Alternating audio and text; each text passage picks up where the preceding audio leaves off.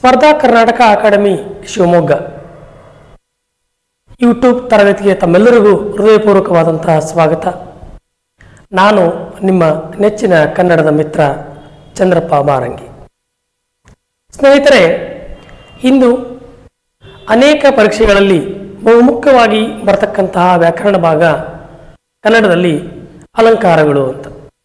Specially for S T A F D A group C T T C E T ಮುಂತಾದ ಸ್ಪರ್ಧಾತ್ಮಕ ಪರೀಕ್ಷೆಗಳಲ್ಲಿ ಅಲಂಕಾರಗಳನ್ನು ಕುರಿತಾಗಿ ಅನೇಕ ಪ್ರಶ್ನೆಗಳು ಬರ್ತವೆ.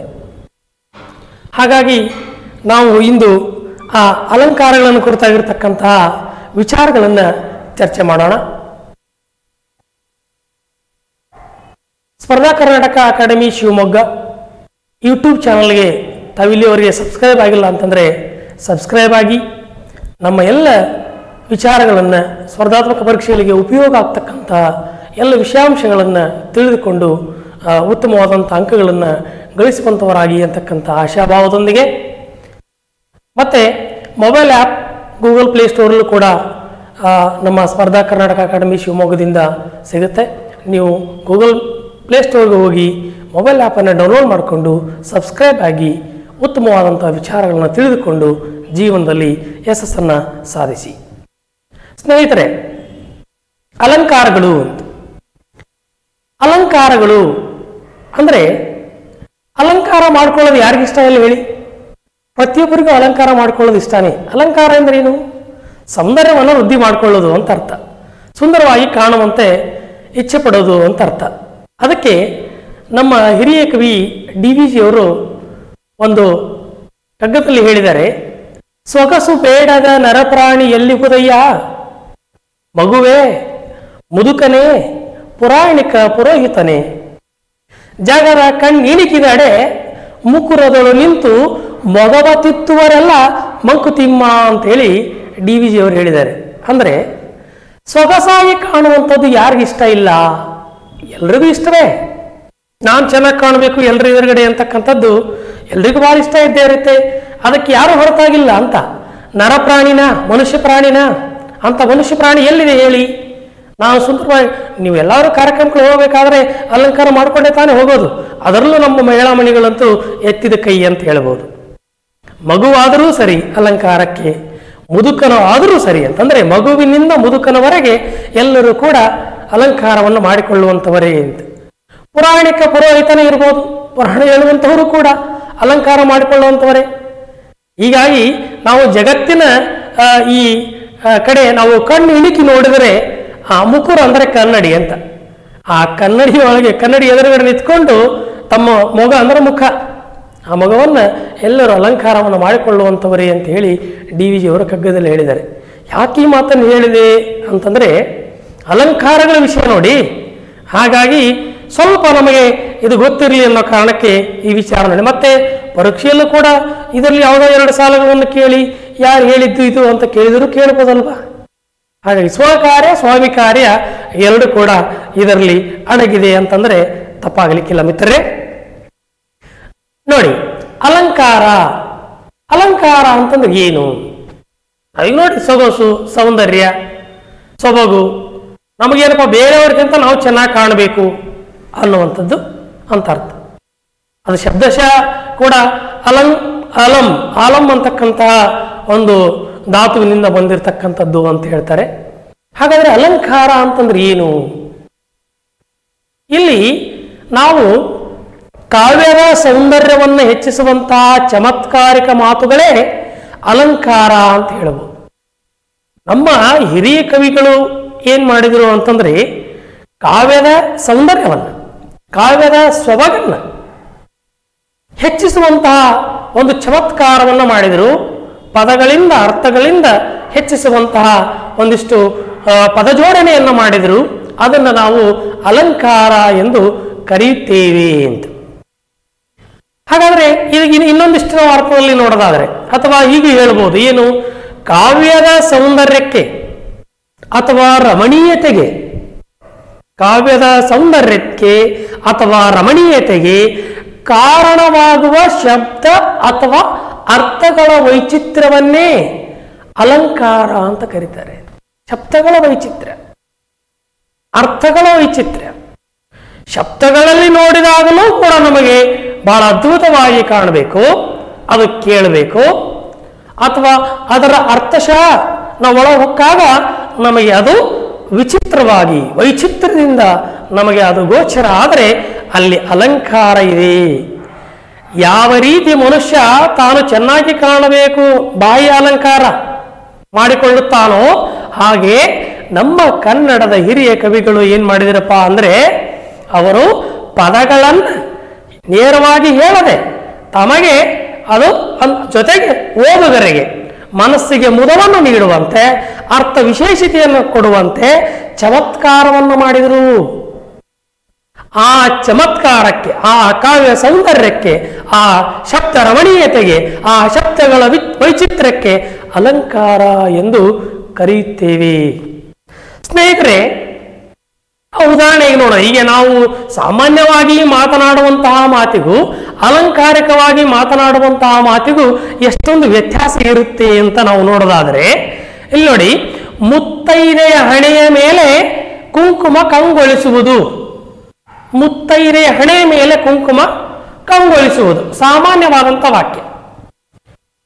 ಇದನ್ನೇ ನಾವು ಅಲಂಕಾರಿಕವಾಗಿ ಇದನ್ನು ಹೇಳೋದಾದರೆ, ನೋಡಿ, ಮುತ್ತೈದೆಯ ಹಣೆಯ ಮೇಲಿನ ಕುಂಕುಮ ಪೂರ್ವ ದಿಗಂತದಲ್ಲಿ ಸೂರ್ಯನು ಉದಯಿಸಿದಂತೆ ಕಂಗೊಳಿಸುವುದು ಅಂತ. ಹಾ ಎಷ್ಟು ಸೊಗನ್ನ ಕೊಡುತ್ತೆ ನೋಡಿ. ಮುತ್ತೈದೆಯ ಹಣೆಯ ಮೇಲೆ ಕುಂಕುಮ ಕಂಗೊಳಿಸುವುದು ಏನು ವಿಶೇಷತೆ ಇಲ್ಲ.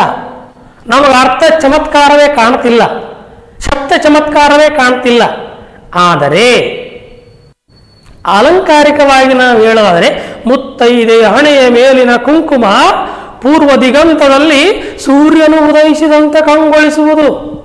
ಆಹಾ, ಎಷ್ಟು ಅದ್ಭುತ ನೋಡಿ. ಹೋಲಿಕೆ ಮಾಡಿದರೆ, ಉಪಮೇಯ ಉಪಮಾನಗಳನ್ನು ನಾವಿಲ್ಲಿ ಕಾಣಬಹುದು. ಹೋಲಿಸಿಕೊಳ್ಳುವ ವಸ್ತು ಹೋಲಿಸುವಂತಹ ವಸ್ತು. ಹೀಗೆ ಅರ್ಥ ಚಮತ್ಕಾರ, ಶಬ್ದ ಚಮತ್ಕಾರ ಆ ವಾಕ್ಯದಲ್ಲಿ ಅಡಗಿದ್ರೆ ಅದು ಅಲಂಕಾರಿಕ ವಾಕ್ಯ ಆಗುತ್ತೆ ಅಂತ. ಇದು ಕೇವಲ ಅಲಂಕಾರ ಅಂತ ತಿಳ್ಕೊಳ್ಳಲಿಕ್ಕೆ ಒಂದಿಷ್ಟು ಉದಾಹರಣೆಗಳಷ್ಟೇ ಅಂತ. ಹಾಗಾದರೆ ಈ ಅಲಂಕಾರಗಳನ್ನು ಕುರಿತು ನಮ್ಮ ಹಿರಿಯರು, ಹಿರಿಯ ವಿದ್ವಾಂಸರು, ಕವಿಗಳು ಏನಿದ್ದಾರೆ ಸಾಹಿತಿಗಳೇನಿದ್ದಾರೆ ಅವರು ಅಲಂಕಾರಗಳನ್ನು ಕುರಿತು ನಮಗೆ ತಿಳಿಸಿಕೊಟ್ಟಿದ್ದಾರೆ ತಿಳಿಸಿಕೊಡುವಂಥ ಪ್ರಯತ್ನವನ್ನು ಮಾಡಿದ್ದಾರೆ. ಅವರ ಒಂದಿಷ್ಟು ಕೆಲವರು ಆಯ್ದ. ಪರೀಕ್ಷಾ ದೃಷ್ಟಿಯಿಂದ ನಾವೇನು ಮಾಡೋಣ ಹಾಗಾದರೆ ನಾವು ಸಂಕ್ಷಿಪ್ತವಾಗಿ ಪರಿಚಯವನ್ನು ಮಾಡಿಕೊಳ್ಳೋಣ ಅಂತ. ಮೊದಲನೇದಾಗಿ ನಮ್ಮ ಒಂಬತ್ತನೇ ಶತಮಾನದಲ್ಲಿ ಶ್ರೀ ವಿಜಯ ಅಂತ. ಇದು ನನ್ನ ಕವಿರಾಜ ಮಾರ್ಗಕಾರ ಅಂತ ಕರೀತಾರೆ. ಶ್ರೀ ವಿಜಯ ಈತ ರಾಷ್ಟ್ರಕೂಟ ಚಕ್ರವರ್ತಿಯಾಗಿರ್ತಕ್ಕಂಥ ನೃಪತುಂಗನ ಆಸ್ಥಾನ ಕವಿ. ಶ್ರೀ ವಿಜಯ. ಈತ ಕವಿರಾಜ ಮಾರ್ಗ ಅನ್ನುವಂತಹ ಒಂದು ಕೃತಿಯನ್ನು ಬರೆದಿದ್ದಾನೆ ಸ್ನೇಹಿತರೆ, ಇದು ಕೂಡ ನಿಮಗೆ ಪರೀಕ್ಷೆಯಲ್ಲಿ ಬರ್ತಕ್ಕಂಥದ್ದೇ. ಇದು ಲಕ್ಷಣ ಗ್ರಂಥ ಅಂತ ಕರಿತೀವಿ ಇದಕ್ಕೆ. ಜೊತೆಗೆ, ಇದು ಉಪಲಬ್ಧ ಮೊಟ್ಟ ಮೊದಲ ಕೃತಿಯಾಗಿದೆ ಕನ್ನಡದಲ್ಲಿ. ನೋಡಿ, ಆ ದೃಷ್ಟಿಯಿಂದಲೂ ಕೂಡ ನಮಗೆ ಬಹಳ ಪ್ರಮುಖವಾಗಿರ್ತಕ್ಕಂತಹ ವಿಚಾರ ಅಂತ. ಇದರಲ್ಲಿ ಶ್ರೀ ವಿಜಯ ಏನ್ ಮಾಡಿದಾನೆ ಅಲಂಕಾರಗಳ ಬಗೆಗೆ ಅನೇಕ ವಿಷಯಗಳನ್ನ ಆತ ಹೇಳಿದ್ದಾನೆ. ಹಾಗಾಗಿ ಇದರಲ್ಲಿ ಅನೇಕ ಅನೇಕ ವಿಷಯಗಳು ಹೇಳಲ್ಪಟ್ಟಿವೆ ಅಂತಂದ್ರೆ ತಪ್ಪಾಗ್ಲಿಕ್ಕಿಲ್ಲ ಅಂತ. ಹಾಗಾದ್ರೆ ಸ್ನೇಹಿತರೆ, ಮುಂದೆ ನೋಡೋಣ ಹಾಗಾದ್ರೆ ಶ್ರೀ ಈ ತರ ಕಾಲನೂ ಕೂಡ ಅಷ್ಟೇ. ಕ್ರಿಸ್ತ ಶಕ ಎಂಟುನೂರ ಹದಿನಾಲ್ಕು ಕಾಲ ಕೇಳಬಹುದು, ಆತನ ಕೃತಿ ಕೇಳಬಹುದು, ಆಸ್ಥಾನದಲ್ಲಿದ್ದ ಯಾವ ಆಸ್ಥಾನದಲ್ಲಿದ್ದ ಅಂತಕ್ಕಂಥದ್ದು ಪ್ರಶ್ನೆಗಳು ಬರಬಹುದು ಅಂತ. ಮೊಟ್ಟ ಮೊದಲ ಉಪಲಬ್ಧ ಕೃತಿ ಅನ್ನೋದನ್ನು ಕೂಡ ನಾನು ನಿಮಗೆ ತಿಳಿಸ್ಕೊಟ್ಟಿದ್ದೀನಿ ಅಂತ. ನೋಡಿ ಹಾಗಾದ್ರೆ, ಯಾರು? ಎರಡನೇ ನಾಗವರ್ಮ. ಈತನ ಕಾಲ ಸಾವಿರದ ನೂರ ನಲವತ್ತೈದು. ಸಾವಿರದ ನೂರ ನಲವತ್ತೈದು. ಎರಡನೇ ನಾಗವರ್ಮ.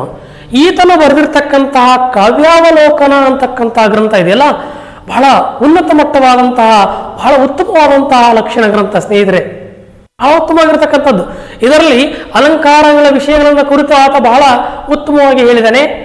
ಒಟ್ಟು ನಾಗವರ್ಮ ಅರವತ್ತು ಅಲಂಕಾರಗಳನ್ನ ಆ ಕೃತಿಯಲ್ಲಿ ತಿಳಿಸುವಂತಹ ಪ್ರಯತ್ನವನ್ನು ಮಾಡಿದ್ದಾನೆ ಅಂದ್ರೆ ಅರವತ್ತು ಅಲಂಕಾರಗಳಿವೆ ಅಂತೇಳಿ ಆತ ಗುರುತಿಸಿದ್ದಾನೆ ಇದು ಆತನ ಸಂಕ್ಷಿಪ್ತ ಪರಿಚಯ. ಎರಡನೇ ನಾಗವರ್ಮನ ಕೃತಿ, ಕಾವ್ಯಾವಲೋಕನ, ಆತನ ಕಾಲ ಕೃತಶಕ ಸಾವಿರದ ನೂರ ನಲವತ್ತೈದು. ಕಾವ್ಯಾವಲೋಕನ ಒಂದು ಲಕ್ಷಣ ಗ್ರಂಥ ಕೂಡ ಹೌದು. ಅಲಂಕಾರಗಳ ಬಗ್ಗೆ ಹೇಳಿರ್ತಕ್ಕಂಥ ಕೃತಿಗಳಲ್ಲಿ ಕಾವ್ಯಾಲೋ, ಕಾವ್ಯಾವಲೋಕನವೂ ಕೂಡ ಒಂದಾಗಿದೆ. ಅರವತ್ತು ಎಷ್ಟು ಅಲಂಕಾರ ಹೇಳಿದಾನೆ?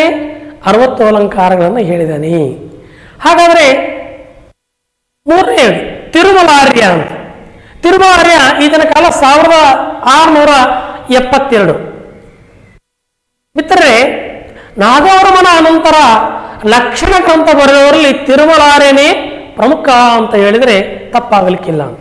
ಇದ ಮೈಸೂರಿನ ಚಿಕ್ಕದೇವರಾಜರ ಆಸ್ಥಾನ ಪಂಡಿತನಾಗಿರ್ತಕ್ಕಂತಹ ತಿರುಮಲಾರ್ಯ ಅಪ್ರತಿಮ ವೀರ ಚರಿತೆ ಅಥವಾ ಚರಿತ್ರೆ ಎಂಬ ಅಲಂಕಾರ ಗ್ರಂಥವನ್ನು ಈತ ಬರೆದಿದ್ದಾನೆ ಚಿಕ್ಕದೇವರಾಜ ಒಡೆಯರ ಚರಿತ್ರೆಗೆ ಸಂಬಂಧಿಸಿದಂತಹ ಅನೇಕ ಪದ್ಯಗಳನ್ನು ತಾನೇ ರಚಿಸಿ ಅಲಂಕಾರಕ್ಕೆ ಉದಾಹರಣೆಗಳನ್ನು ಕೊಟ್ಟಿರುವುದನ್ನು ನಾವು ಈ ಅಪ್ರತಿಮ ವೀರ ಚರಿತ್ರೆಯಲ್ಲಿ ನೋಡಬಹುದು. ತಿರುಮಲಾರ್ಯ ಚಿಕ್ಕದೇವರಾಜರ ಆಸ್ಥಾನ ಕವಿ ಆತನ ಕಾಲ ಸಾವಿರದ ಆರುನೂರ ಎಪ್ಪತ್ತೆರಡು ಮತ್ತು ಆತನ ಅಲಂಕಾರಕ ಕೃತಿ ಯಾವುದು ಅಂತಂದ್ರೆ ಅಪ್ರತಿಮ ವೀರ ಚರಿತೆ ಅಂತಕ್ಕಂಥದ್ದು. ಇದರಲ್ಲಿ ತಿರುಮಲಾರ್ಯ ನೂರ ಇಪ್ಪತ್ತು ಅಲಂಕಾರಗಳನ್ನು ಹೇಳಿದ್ದಾನೆ. ನೋಡಿ ಪಟ್ಟಿ ಮಾಡಿ ನೂರ ಅಲ ನೂರ ಇಪ್ಪತ್ತು ಅಲಂಕಾರಗಳನ್ನು ಹೇಳಿದ್ದಾನೆ. ಹಾಗೆ ಜಾಯಪ್ಪ ದೇಸಾಯಿ ಅಂತಕ್ಕಂಥ ಕವಿ, ಕ್ರಿಸ್ತಶಕ ಸಾವಿರದ ಏಳ್ನೂರ ಮೂವತ್ತೈದು ಈತನ ಕಾಲವಾಗಿದೆ. ತೋರಗಲ್ ಸೀಮೆಗೆ ದೊರೆ ಎನಿಸಿದಂತಹ ಜಾಯಪ್ಪ ದೇಸಾಯಿ ಎಂಬ ದೊರೆಯು ಕನ್ನಡ ಕುವೆ, ಕುವಲಯಾನಂದ ಕನ್ನಡ ಕುವಲಯಾನಂದ ಎಂಬ ಅಂತಕ್ಕಂಥ ಹೆಸರಿನ ಲಕ್ಷಣ ಗ್ರಂಥವನ್ನು ಈತ ಬರೆದಿದ್ದಾನೆ. ನೂರು ಅಲಂಕಾರಗಳನ್ನು ಇದರಲ್ಲಿ ಹೇಳಿದ್ದಾನೆ. ನೆನ್ಪಿಟ್ಕೊಳ್ಳಿ. ನೂರು ಅಲಂಕಾರಗಳನ್ನು ಇದರಲ್ಲಿ ಆತ ಹೇಳಿದ್ದಾನೆ. ಈ ಗ್ರಂಥವನ್ನು ನೋಡಿ ಬಹಳ ವಿಶೇಷವಾದಂಥ ಮಾಹಿತಿಯನ್ನು ಕೊಡ್ತಾ ಇದ್ದೇನೆ ನಿಮಗೆ. ಡಾಕ್ಟರ್ ಸಿ ಎಸ್ ನಂದಿಮಠ ಅಂತಕ್ಕಂಥವರು ಈ ಗ್ರಂಥವನ್ನು ಸಂಪಾದಿಸಿ ಪ್ರಕಟಣೆ ಮಾಡಿದ್ದಾರೆ. ನೋಡಿ ಯಾರು ಸಂಪಾದನೆ ಮಾಡಿದರು? ಪರೀಕ್ಷೆಗಳಲ್ಲಿ ಕೇಳ್ಬೋದು. ಹೌದಾ? ಜಯಪ್ಪ ದೇಸಾಯ ಕೃತಿ ಕೇಳ್ಬೋದು. ಕನ್ನಡ ಕುವಲ, ಕುವಲಯಾನಂದ ಅಂತ. ಮತ್ತೆ ಇದಕ್ಕೆ ಮೂಲ ಯಾವುದು ಅಂತಕ್ಕಂಥದ್ದನ್ನು ನಾವು ನೋಡ್ತಾ ಹೋದರೆ, ಅಪ್ಪಯ್ಯ ದೀಕ್ಷಿತರು ಬರ್ತಕ್ಕಂತಹ ಕುವಲಯಾನಂದ ಅಂತಕ್ಕಂಥ ಕೃತಿ ಇವರ ಕೃತಿಗೆ ಅಥವಾ ಇವರ ಪರಾಮರ್ಶನಕ್ಕೆ ಒಳಪಡ್ತಕ್ಕಂತಹ ಕೃತಿಯಾಗಿದೆ ಅಂತಂದ್ರೆ ತಪ್ಪಾಗಲಿಕ್ಕಿಲ್ಲ ಅಂತ. ಅದು ಸತ್ಯವೂ ಕೂಡ ಹೌದು ಅಂತ. ಸ್ನೇಹಿತರೆ, ಹಾಗಾದ್ರೆ ಈ ಪ್ರಮುಖ ಅಲಂಕಾರಿಕರ ಪರಿಚಯ ಶ್ರೀ ವಿಜಯ ನೋಡಿದ್ವಿ ನಾಗವರಮ ನೋಡಿದ್ವಿ, ಮತ್ತೆ ನಾವು ತಿರುಮಲಾರನ್ ನೋಡಿದ್ವಿ ಜಯಪ್ರದೇಶಾಯಿ ಇವರು ಪ್ರಮುಖ, ಆಯ್ದ ಪ್ರಮುಖ ಅಲಂಕಾರಿಕರು ಅಂತ. ತುಂಬ ದೊಡ್ಡದಾದಂಥ ಇತಿಹಾಸ ಇದೆ. ಅಲಂಕಾರಗಳನ್ನು ಕುರಿತಾಗಿ ಹೇಳಿರ್ತಕ್ಕಂತಹ ಸಾಹಿತ್ಯಗಳಲ್ಲಿ. ಹಾಗಾದರೆ ಕೆಲವು ಆಯ್ದ ನಮ್ಮ ವಿದ್ವಾಂಸರುಗಳು ಅಲಂಕಾರಿಕರು ಅಂತ ಕರಿತೀವಿ. ಆ ವ್ಯಾಕರಣದ ಪರಿಭಾಷೆಯಲ್ಲಿ ಇವರನ್ನ. ಅವರು ಕೆಲವರು ಏನ್ ಮಾಡಿದ್ದಾರೆ ಅಂತಂದ್ರೆ ಅಲಂಕಾರಗಳನ್ನು ಕುರಿತಾಗಿ ಕೆಲವೊಂದಿಷ್ಟು ಸಂಖ್ಯೆಗಳಲ್ಲಿ ಅವರು ಹೇಳಿದ್ದಾರೆ. ಉದಾಹರಣೆಗಾಗಿ ನಾವು ನೋಡೋದಾದ್ರೆ ಭರತ ಮುನಿ ಭರತನ ನಾಟ್ಯಶಾಸ್ತ್ರ ಅಂತ ಬರುತ್ತೆ. ಆತ ಅದರಲ್ಲಿ ನಾಲ್ಕು ಅಲಂಕಾರಗಳನ್ನು ಹೇಳ್ತಾನೆ. ಸ್ನೇಹಿತರೆ, ಆತ ಹೇಳ್ತಕ್ಕಂಥ ಅಲಂಕಾರಗಳು ಯಾವುದು ಅಂತಂದ್ರೆ ನಾಲ್ಕು ಊರೂದೀಯ ಅಂತ ಸುಲಭವಾಗಿ ನೆನಪಿಟ್ಕೊಳ್ಬಹುದು. ಊರೂದೀಯ ಅಂತಂದ್ರೆ ಉಪಮಾಲಂಕಾರ, ರೂಪಮಾಲಂಕಾರ ಯಮಕ ಅಲಂಕಾರ ಭರತನ ಹೇಳಿದ ನಾಲ್ಕು ಅಲಂಕಾರಗಳು ಯಾವುವು? ಕ್ರಮವಾಗಿ ಬರೆಯಿರಿ. ಉರುದೀಯ, ಉಪಮ, ರೂಪಕ, ದೀಪಕ, ಯಮಕ. ನೋಡಿ, ಎಷ್ಟು ಈತ ಹೇಳಿದ ಎಷ್ಟು ಅಲಂಕಾರಗಳು? ನಾಲ್ಕು. ನೆನ್ಬಿಡ್ಬೋದು ಶ್ರೀ ವಿಜಯ ಮೂವತ್ತೈದು ಅಲಂಕಾರಗಳನ್ನು ಹೇಳಿದನೆ ಎರಡನೇ ನಾಗವರಮ ಅರವತ್ತು ಅಲಂಕಾರಗಳನ್ನು ಹೇಳಿದರೆ ತಿರುಮಲಾರ್ಯ ನೂರ ಇಪ್ಪತ್ತಾಲ ನೂರ ಇಪ್ಪತ್ತು ಅಲಂಕಾರಗಳನ್ನು ಹೇಳಿದರೆ ಜಯಪ್ರದೇಶ ಇವರು ನೂರು ಅಲಂಕಾರಗಳನ್ನು ಹೇಳಿದ್ದಾರೆ. ಪಟ್ಟಿ ಮಾಡಿದರೆ ಉದಯಾದಿತ್ಯ ಅಂತಕ್ಕಂಥ ಅಲಂಕಾರಿಕ ಆತನ ಅಲಂಕಾರಕ ಕೃತಿಯನ್ನು ಬರೆದಿದ್ದಾರೆ ಉದಯಾದಿತ್ಯ ಅಂತಕ್ಕಂಥದ್ದನ್ನು. ಉದಯ, ಉದಯಾದಿತ್ಯ ಅಲಂಕಾರ ಅಂತ ಬರುತ್ತೆ. ಆತ ಮೂವತ್ತೈದು ಅಲಂಕಾರಗಳನ್ನು ಆತ ಹೇಳಿದ್ದಾನೆ ಮಾನವ ಅನ್ನುವಂತಹ ಕವಿಯು ಕೂಡ ಮೂವತ್ತೈದು ಅಲಂಕಾರಗಳನ್ನು ಪಟ್ಟಿ ಮಾಡಿದ್ದಾನೆ ಸ್ನೇಹಿತರೆ. ನೋಡಿ ನಿಮಗೆ ಇದರಲ್ಲಿ ಯಾರು ಎಷ್ಟು ಅಲಂಕಾರಗಳನ್ನು ಹೇಳಿದರು ಅಂತ ಪ್ರಶ್ನೆ ಕೇಳಿದರೂ ಸುಲಭವಾಗಿ ನೀವು ಗುರುತಿಸಿಕೊಳ್ಳಬಹುದು ಅಥವಾ ಗುರುತಿಸಬಹುದು ಸುಲಭವಾಗಿ. ಉತ್ತರ ಪಕ್ಕ. ಇದು ಆಯ್ದ ಅಲಂಕಾರಿಕರು ಹೇಳಿರ್ತಕ್ಕಂಥ ಅಲಂಕಾರಗಳ ಸಂಖ್ಯೆ ಆಯಿತು ಸ್ನೇಹಿತರೆ. ಇನ್ನು ಅಲಂಕಾರಗಳಲ್ಲಿ ವಿಧಗಳನ್ನು ನೋಡೋಣ ನಾವು. ಅಲಂಕಾರಗಳಲ್ಲಿ ಪ್ರಮುಖವಾಗಿ ನಾವು ಎರಡು ವಿಧಗಳನ್ನು ನೋಡಬಹುದು. ಎರಡು ವಿಧಗಳು. ಒಂದು ಶಬ್ದಾಲಂಕಾರಗಳು, ಇನ್ನೊಂದು ಅರ್ಥಾಲಂಕಾರಗಳು ಅಂತ. ಶಬ್ದಾಲಂಕಾರಗಳು, ಅರ್ಥಾಲಂಕಾರಗಳು. ಶಬ್ದಾಲಂಕಾರಗಳನ್ನು ನಾವು ನೋಡೋದಾದ್ರೆ ಅದು ಶಬ್ದ ಬಹಳ ಮುಖ್ಯ ಅಂತ. ಅಲ್ಲಿ ಶಬ್ದ ಬಹಳ ಮುಖ್ಯ, ಅರ್ಥ ಮುಖ್ಯ ಅಲ್ಲ ಅಂತ. ಉದಾಹರಣೆಗೆ ನಾವು ನೋಡಿದರೆ, ಸ ನಾವೇನು ಸಂಪಂಗಪ್ಪನ ಮಗ ಮರಿ ಸಂಪಂಗಪ್ಪ ಅಂತಕ್ಕಂಥದ್ದನ್ನು ನೋಡ್ಬೋದು. ತರೀಕೆರೆ ಏರಿ ಮೇಲೆ ಮೂರು ಕೂರಿ, ಮೂರು ಕರಿ ಕೂರಿ, ಮರಿ ಮೇಯ್ತಿತ್ತು ಅಂತ. ತರಿಕೆರೆ ಏರಿ ಮೇಲೆ ಮೂರು ಕರಿ ಕುರಿ, ಮರಿ ಮೇಯ್ತಿತ್ತು ಅಂತ. ಒಡಲ್ಲಿ ರ, ಕ ಈ ರೀತಿ ಎರಡು ವ್ಯಂಜನಗಳು. ಅಂದರೆ ಅಲ್ಲಿ ಶಬ್ದಕ್ಕೆ ಮಾತ್ರ, ಇಲ್ಲಿ ಅಷ್ಟೇ. ಸ ಏನು? ಸಂಪಂಗಪ್ಪನ ಮಗ ಮರಿ ಸಂಪಂಗಪ್ಪ. ನೋಡಿ ಸ ಮತ್ತು ಪ, ಗ. ಮೂರು ವ್ಯಂಜನಾಕ್ಷರಗಳು ಇಲ್ಲಿ ಆ ಶಬ್ದಾಲಂಕಾರಕ್ಕೆ ಅಲಂಕಾರಪ್ರಾಯ ಅಂತ. ಅಲಂಕಾರಪ್ರಾಯವಾಗಿದೆ ಅಂತ. ಅರ್ಥಾಲಂಕಾರಕ್ಕೆ ನೋಡೋದಾದರೆ, ಅರ್ಥಾಲಂಕಾರಕ್ಕೆ ನಾವು ನೋಡೋದಾದರೆ, ವಿರಾಜನ ಮುಖವು ಚಂದ್ರನ ಮುಖದಂತೆ ಸುಂದರವಾಗಿದೆ. ವಿರಾಜನ ಮುಖವು ಚಂದ್ರನ ಮುಖದಂತೆ ಸುಂದರವಾಗಿದೆ ಅಂತ ವದನ, ಮುಖ, ಆನನ ಸಮನಾರ್ಥಕ ಪದ. ಅಂದರೆ ಆ ಉಪಮ, ಉಪಮೇಯ, ವಿರಾಜ, ಚಂದ್ರನ ಮುಖ, ಉಪಮಾನ, ಹೋಲಿಕೆ ಮಾಡಿರ್ತಕ್ಕಂಥದ್ದು. ಇಲ್ಲಿ ಅರ್ಥ ಮುಖ್ಯ. ಇಲ್ಲಿ ಅರ್ಥ ಮುಖ್ಯ. ಸೀತೆಯ ಮುಖ ಕೊಳದ ತಾವರೆಯಂತೆ ಅರಳಿತು.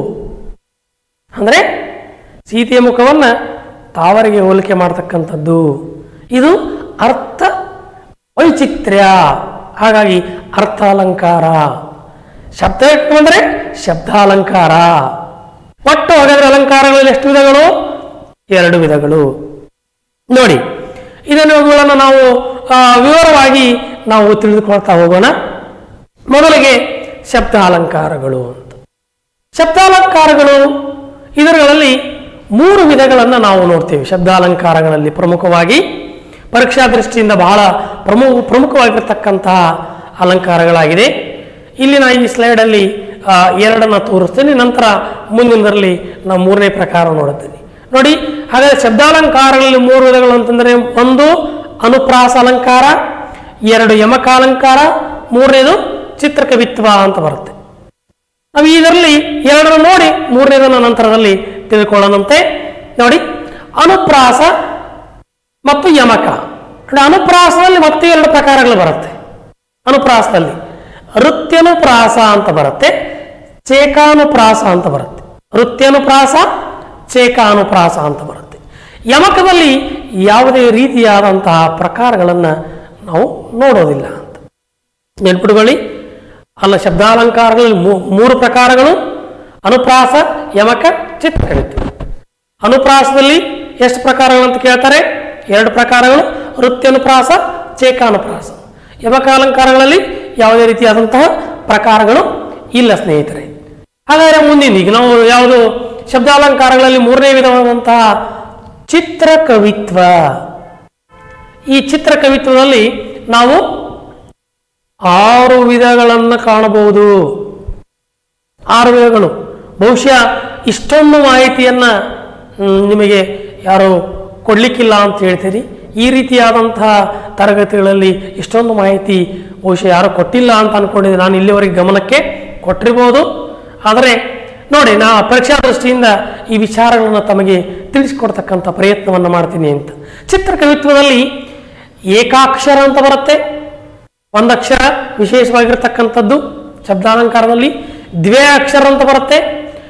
ಎರಡಕ್ಷರ ಅಲ್ಲಿ ಅರ್ಥ ಏನು ಬಹಳ ಶಬ್ದಗಳ ಒಂದು ಮಹಿಮೆಯನ್ನ ನಾವು ಕಾಣಬಹುದು. ತ್ರೇ ಅಕ್ಷರ ಅಂತ ಬರುತ್ತೆ. ತ್ರೇ ಅಂದ್ರೆ ತ್ರಿ, ಮೂರು. ಮೂರು ಅಕ್ಷರಗಳ ಶಬ್ದ ವೈಚಿತ್ರ್ಯವನ್ನು ನಾವು ಈ ಅಲಂಕಾರಗಳಲ್ಲಿ ನೋಡಬಹುದು. ಗತ ಪ್ರತ್ಯಾಗತ. ಗತ ಪ್ರತ್ಯಾಗತ ಅಂತಂದ್ರೆ ಇದು ಇನ್ನು ಅನೇಕ ಶಬ್ದಗಳ ವೈಚಿತ್ರ್ಯವನ್ನು ತೋರಿಸ್ತಕ್ಕಂತಹ ಒಂದು ವಿಚಾರವನ್ನು ನಾವಿಲ್ಲಿ ನೋಡ್ಬೋದು ಅತಾಲವ್ಯ ಅಂತ ಬರುತ್ತೆ ಐದನೇದು.